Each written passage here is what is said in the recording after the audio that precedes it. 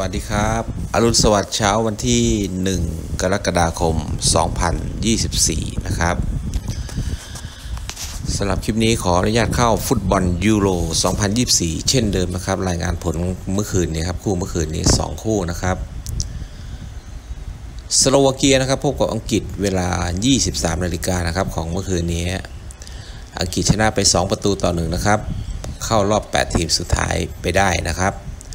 คู่ที่2นะครับสเปนเอาชนะจอร์เจียไปได้ 4 ประตูต่อหนึ่งนะครับ คู่นี้คู่นี้ดึกนะครับ คู่ที่ 2 คู่ดึกนะครับ คู่ดึกของบ้านเรา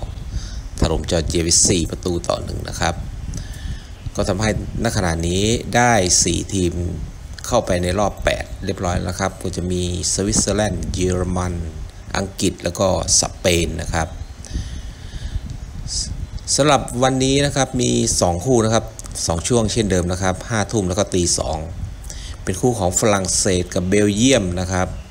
แล้วก็โปรตุเกสกับสโลวีเนียนะครับ ก็เชียร์โปรตุเกสเนาะก็เราจะได้อีกทัวร์นาเมนต์นี้ก็จะได้อีก 2 ทีมนะครับ เข้าไปรอบ 8 ทีมนะครับผมติดตามรับชมรับเชียร์กันได้นะครับ 2 ช่วงนะครับ เวลา5ทุ่มแล้วก็ตี2 ส่วนวันนี้นะครับ วันนี้นะแถบบ้านเราอาเซียนนะครับ อินโดนีเซียแถวแถวอินโดนีเซียนะครับ ให้กำลังใจกับ U16 ปีนะครับ รอบรองชนะเลิศนะครับ พบกับเวียดนามนะครับ U16 ปีนะครับ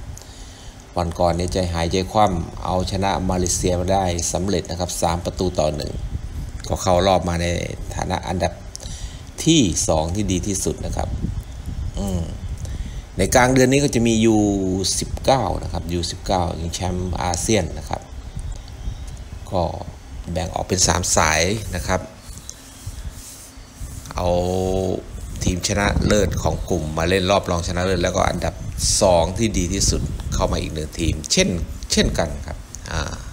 ในกลางเดือนนี้ครับกลางเดือนนี้ก็จะมีทัวร์นาเมนต์นี้ด้วย อันดับแรกขอขอกำลังใจให้กับ U16 ก่อนนะครับ ให้ผ่านเวียดนามไปได้เพื่อเข้าไปชิงนะครับ แอดเดาว่าน่าจะเป็นน่าจะเป็นออสเตรเลียนะเพราะว่าออสเตรเลียน่าจะเหนือกว่าอินโดนีเซียนะครับ อินโดนีเซียเนี่ยจะเจอกับออสเตรเลีย แล้วก็ทีมชาติไทยเราจะเจอกับเวียดนามนะครับอขอให้ได้แชมป์ไว้นะครับในอนาคตอาจจะมีเด็กชุดนี้ติดทีมชาติชุดใหญ่ มีชื่อเสียงโด่งดังคล้ายๆ กับชนาทิพย์ก็ได้ ขอกำลังใจนะครับผมสำหรับคลิปนี้